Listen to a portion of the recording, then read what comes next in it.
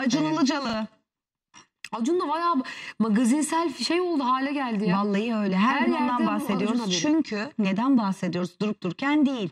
Şimdi eski eşleri yazılar paylaşıyor. Miami olay oldu. Kız arkadaşı çıktı falan filan. Hı.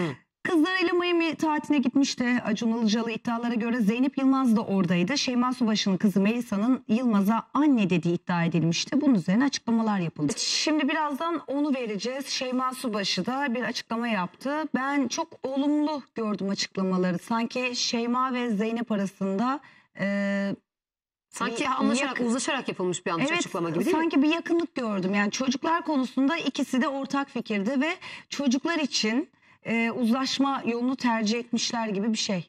Bence zaten olgun olan hareket çocuklar devreye girdikten sonra bütün hırsların e, geride kalmasıdır. Çok az insan yapar Peki bunu. çocuklar mı yoksa Acun hayatında yeni birisinin olması iki tarafı yumuşattı mı? Öküz öldü ortaklık bitti mi diyorsun?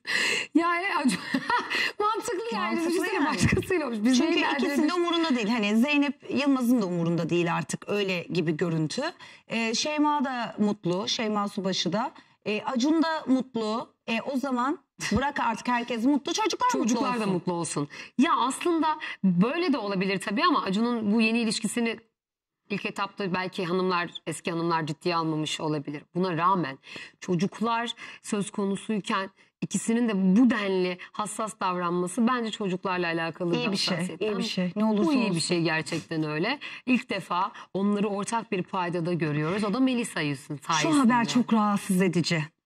Çocuğun ayrılabilirsin. Çocuk gidiyor baba tarafında kalıyor. Değil mi? Babanın Evet. yanına gidecek. Evet olabilir. Babanın hayatındaki insan veya eski insan yeğeni fark etmez bir kadın. Ve benim çocuğum başka bir kadına anne derse ortalığı yıkarım. Bak net söylüyorum ortalığı darmadağın ederim. Eymen benden başkasına anne diyecek. Siz kendinizi koyun yerine.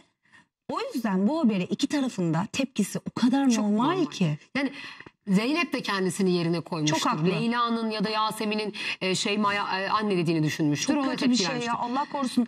Çocuğu bir çocuğun bir tane annesi bir tane babası olur. Diğerleri abi abladır.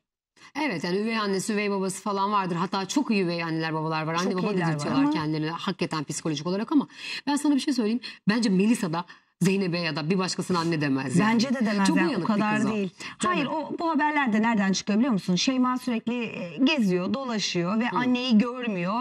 İşte eğer Zeynep Yılmaz'la ilgili diye haberler çıktıysa Zeynep Yılmaz'a anne diyor. Bu haber böyle büyür. İşte ama rahatsızlık edici Ben her şeye rağmen Zeynep'in çok iyi bir anne, e, ona çok iyi bir ablalık yaptığını düşünüyorum. Yani e, yemeğiyle falan bile ilgileniyordur diye Aynı şeyi düşünüyorum o tatilde. Ha, bir anaçlık var. Var, Bazı var. kadınlarda Ama Zeynep'in suratından belli, Evet değil mi? bakınca dersin anaç bir kadın.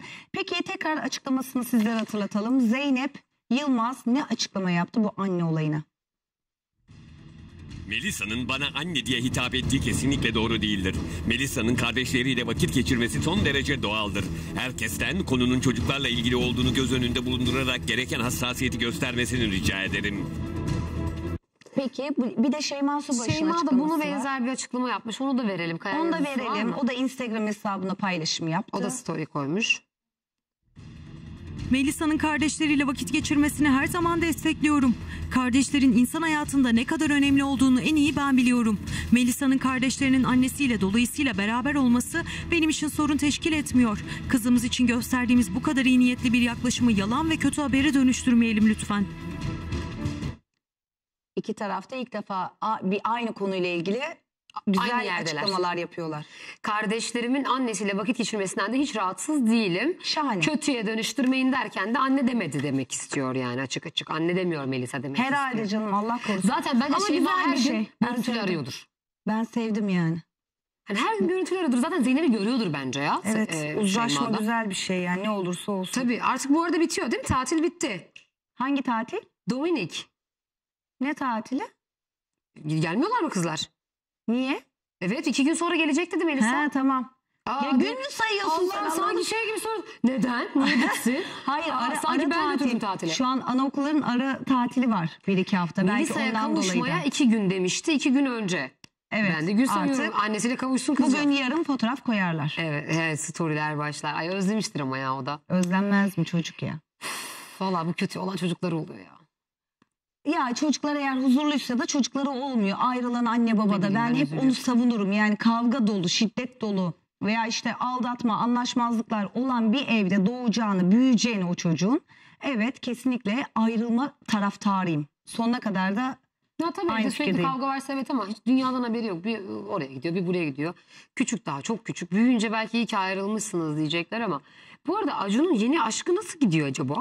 Yeni aşkı Dominik'ten videolar falan paylaşıyor. Tabii canım. Gerçekse o hesaplar ama diyeceğim yalansa da Dominik'e nasıl gidiyor da paylaşıyor. Dominik Cumhuriyeti'nden bayağı story gördük ya. Acun da yalanlamadı yalnız. E, bir sessizlik var değil Bir mi? arkadaşım arkadaşım muhabbeti de yapmadı. Kız da Bu güzel iş- kız ama bak. Belli ama yaşı çok küçük geldi Küçük bana. yaşlı. Nasıl anlaşıyorlar? Evet bu dün de bunu konuştuk. Bakalım. Ama kendileri bilirler. 19-20 yaşında sen nasıldın? Çok olgun muydun? Yok ya. Yani- Yani üniversitedeydim işte. Ee, 45-50 yaşlarındaki e, bir insanla konuşacak ortak bir şey bulabilir miydin acaba? Yok ya. Ya nasıl söyleyeyim? Ee, o en güzel yaş ya. 19-20 yaş. Ya ben bazı şeyleri gerçekten daha geçen yıl anladım ya. Gerçekten küçükmüşüz yani. Bana öyle geliyor. O yüzden çok zor. Hani bu mesela bu kızın büyümüş ve olgunlaşmış hali ideal olabilir. Evet Şeyma'ya da benziyor bakalım. Allah mutlu etsin. Herkes birbirine benziyor. Bu kız birçok kişiye benziyor bu arada. Fiziksel olarak. Peki. Itır'ı da takip ediyormuş. Tamam onu söyleyeyim. Allah'ım. Dünden beri beni yedi. Itır'ı takip ediyor. Itır'ı Acun takip Ben ediyor. evet. Itır diye arattım. Olmaz. İtirmiş. İtirme İtir. var tamam. Peki.